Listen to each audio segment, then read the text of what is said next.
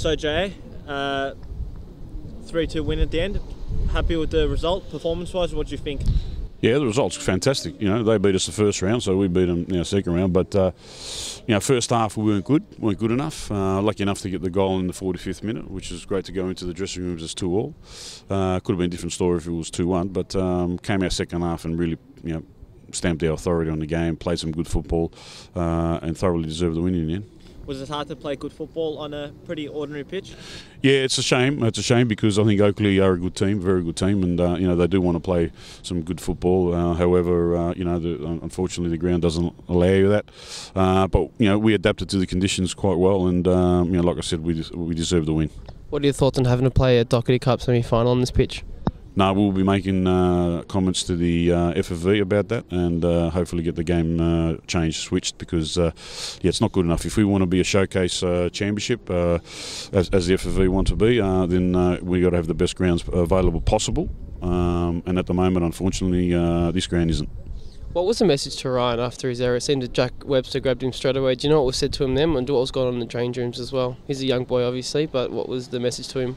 Yeah, look, he's made a mistake, and you know we're not going to take his head off for it. I mean, every player makes a mistake in ground. Unfortunately for keepers, their mistakes are, no, uh, are seen more than others. But uh, no doubt that um, you know uh, he he picked himself up, and uh, uh, he'll learn from it, and we'll all learn from it. So we know what to do from now on. But yeah, he's he's fine. And how encouraging is it seeing, first of all, senior boys to get around him after an error like that, and second of all, him to you know really make some really good saves in the second half and bounce back? Yeah, well, that's what that's what the that's what the uh, this club's about. That uh, you know we've got everyone everyone helps each other, sticks up for his teammate, works hard for each other, and uh, you know if someone makes a mistake, we're not going to put him down. We're going to try and make him get better, and uh, and that's what that's what the boys did. So um, yeah, I'm pretty proud of them for that.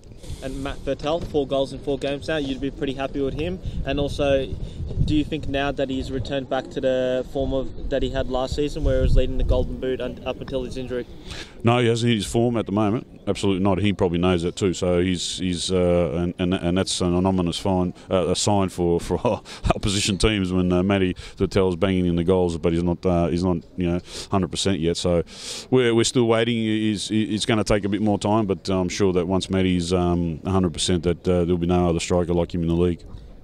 And was Petskovsky an injury at halftime, replacing yes. him? Yes, 100% an injury. He had uh, got a bruised rib, so we're hoping that he'll be right for the game against uh, Melbourne Victory next week. Uh, Ruthven was rested this week. How good is it having four, you know, midfielders that can uh, move between the 6, the 8 and the 10 position all in the one squad? Well, look, you know, I've always wanted to have players in my team that are versatile and can play two or three positions, not just one. Uh, and, and we have the luxury of that at the moment. So, you know, Tyson as number six held Dusan, uh, Dusan uh, Bosniak really quiet today. Um, I thought he had an exceptional game. He played very smart. Um, and, and that's what you want from someone like Tyson, who's a very experienced campaigner. You know, Wally, he was, um, you know, he had a tough tough gig today, but, you know, he came up with a good second half and scored the winning goal. And, you know, Ross Honiswell, everyone knows Ross, Ross was excellent second half, especially especially. It was a bit congested first half, so we couldn't really get him to get the ball, and uh, he was finding it hard to get space. But um, you know, Kamal came on and, and changed that. He sort of he, could get away from his uh, from his opponent quite easily, and uh, you know Ross went on out left, and you know.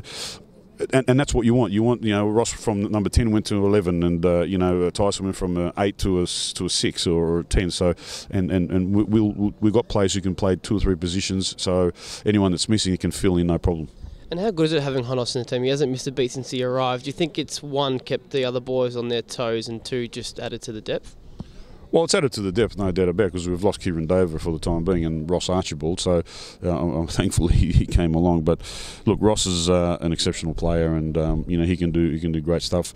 The conditions of the grounds aren't suiting him at the moment because he's what type of player loves to turn players, and unfortunately is a bit slippery at times. But um, look, he's he's adapted pretty well. He hasn't missed a beat, like you said, training hard, and uh, you know he'll get better and better. Sang the song pretty passionately in the rooms. Did this win have an extra sort of feel about it? Oh, look, you know, for some people, yeah, not for me. For me, it's three points. That's all it is. So, you know, I sang the song hard like I did last week and this week and the week uh, before that. So, for me, it, it's not. You know, I don't know. Some people might think it's something special for them, but for me, it's just another game, another three points, and we look forward to next week.